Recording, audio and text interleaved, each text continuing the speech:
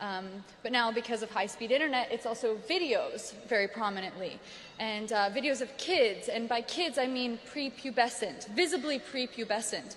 And uh, they make the distinction because um, because of the internet and there's so much content. Uh, these pedophiles are desensitized.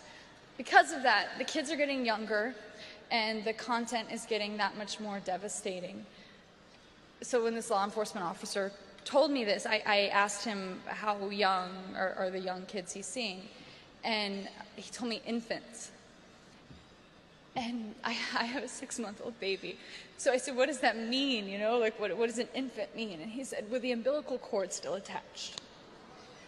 I know it's so devastating to hear this, and I'm really sorry to share this, I, but I'm grateful that you guys are listening because this is actually happening, and it's important that we, we know this and that, that it resonates with us so that we think about this in, in, in, in our days and in our personal life.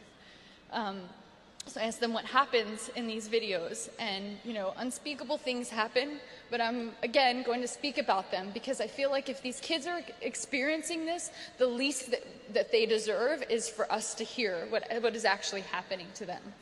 Um, so no, it's not just touching, there is, there is penetration, um, there is extreme torture and bondage, there's bestiality, which is having an animal penetrate the child or infant.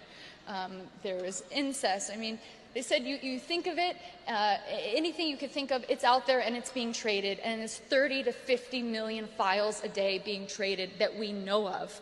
I mean, you can see what's happening right now.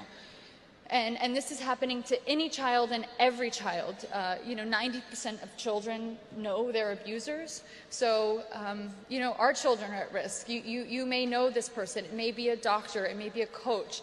Um, you know, I, I, I thought that um, I thought that people that were working with children were people that wanted to protect them.